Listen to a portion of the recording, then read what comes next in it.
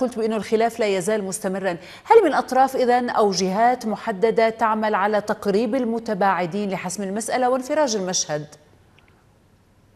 نعم آه، كلنا يعني حريصين على تقريب وجهات النظر بين الأطراف. آه، والسيد رئيس الوزراء بالذات يعني آه، تدخله يعني جدا قريب جدا من كل الأطراف وهي أصل التدخل سيد رئيس الوزراء هو اللي جمعهم وفعلا نجحت المسألة بجمع هذه القوى في عقدت عدة لقاءات واجتماعات بين هذه الأطراف. وستمضي أنا بعد هذه الجلسة إذا عقدت غدا آه، إذا مضت هذه الجلسة غدا أعتقد هي ستكون وسيلة ضغط. هي مؤكد ستكون هي الضاغطة للقوى للتوافق على تشكيل الحكومة مستقبلا.